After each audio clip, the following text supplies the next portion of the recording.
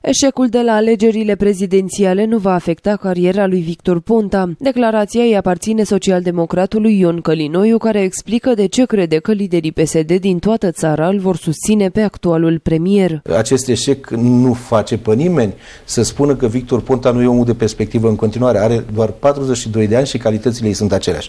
Uh, și spuneam, uh, ai câștigat continuă, ai pierdut continuă. Deci poate să continue activitatea, va fi și Gorju ne-am uh, arătat pe față susținerea lui în calitatea de președinte al Partidului Social Democrat și de prim-ministru al României.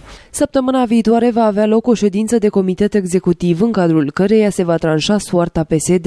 Săptămâna viitoare va fi un Sunteți comitet, vicepreședinte la nivel va național, de asta un insist. comitet executiv național și eu acum pot să vă spun uh, anticipat că sunt convins că majoritatea uh, factorilor de răspundere la nivelul uh, acestui organism care va decide în continuare Consiliul Național să se organizeze și Congresul Partidului va menține, uh, va avea uh, vorumul majoritar majoritar, majoritar, pot să zic majoritate absolută, ca Victor Ponta să fie președinte în continuare și prim-ministru al României.